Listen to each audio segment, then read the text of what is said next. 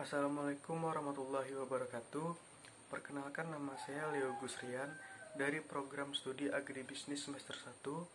Saya ingin menerangkan hasil dari karya ilmiah saya yang berjudul Pembentukan Karakter Melalui Pendidikan Agama Islam dan Budi Pekerti. Pendidikan karakter menjadi isu penting dalam dunia pendidikan akhir-akhir ini.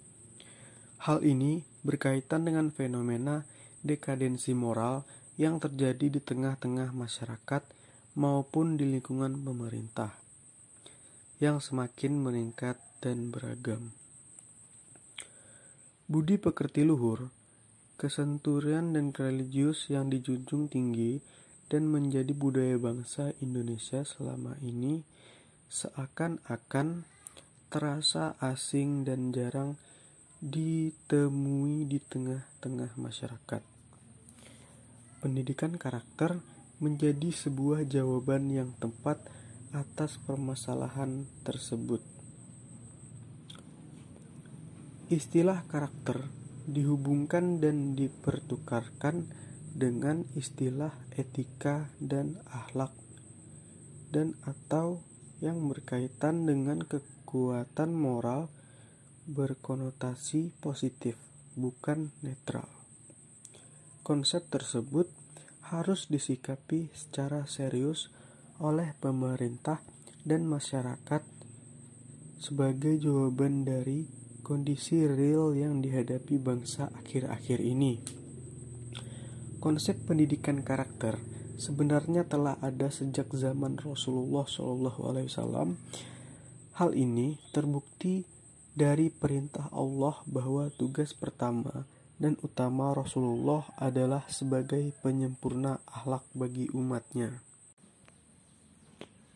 Namun, selama ini proses pembelajaran yang terjadi hanya menitik beratkan pada kemampuan kognitif anak sehingga ranah pendidikan karakter yang tercantum dalam tujuan pendidikan nasional tersebut hanya sedikit atau tidak tersentuh sama sekali. Hal ini terbukti bahwa standar kelulusan untuk tingkat sekolah dasar dan menengah masih memberikan prosentase yang lebih banyak terhadap hasil ujian nasional daripada hasil evaluasi secara menyeluruh terhadap semua mata pelajaran.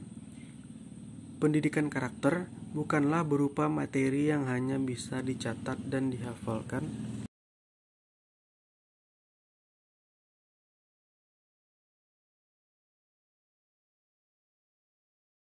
Pendidikan agama, khususnya pendidikan agama Islam, mempunyai posisi yang penting dalam sistem pendidikan nasional.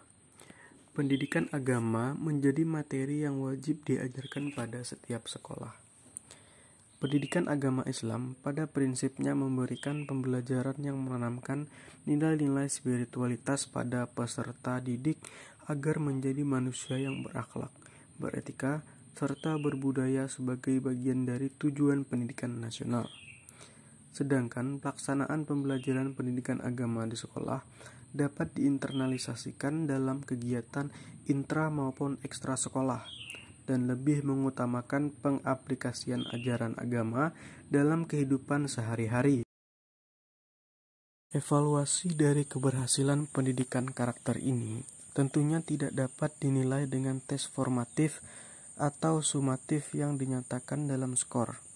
Tetapi, tolok ukur dari keberhasilan pendidikan karakter adalah terbentuknya peserta didik yang berkarakter, berakhlak, berbudaya, santun, religius, kreatif, dan inovatif yang teraplikasi dalam kehidupan di sepanjang hayatnya. Oleh karena itu, tentu tidak ada alat evaluasi yang tepat dan serta-merta dapat menunjukkan keberhasilan pendidikan karakter.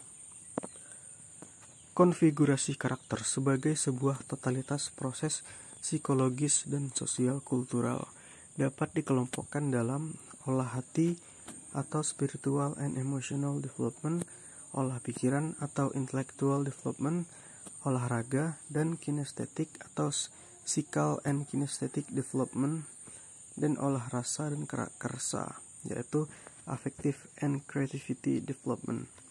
Keempat proses psikososial, olah hati, olah pikir, olahraga dan olah dan olah, olah rasa karsa tersebut secara holistik dan koheren memiliki saling berkaitan dan saling melengkapi yang bermuara pada pembentukan karakter yang menjadi perwujudan dari nilai-nilai luhur. Pendidikan karakter menjadi salah satu akses yang tepat dalam melaksanakan karakter building bagi generasi muda. Generasi yang berilmu, pengetahuan tinggi, dengan dibekali iman dan bertakwa kepada Allah yang Maha Esa, berakhlak mulia, cakap, dan kreatif. Demikianlah hasil penjabaran saya mengenai pembentukan karakter melalui pendidikan agama dan budi pekerti. Jika ada kesilapan kata dan bahasa, saya mohon maaf. Wabillahi taufiq walhidayah. Wassalamualaikum warahmatullahi wabarakatuh.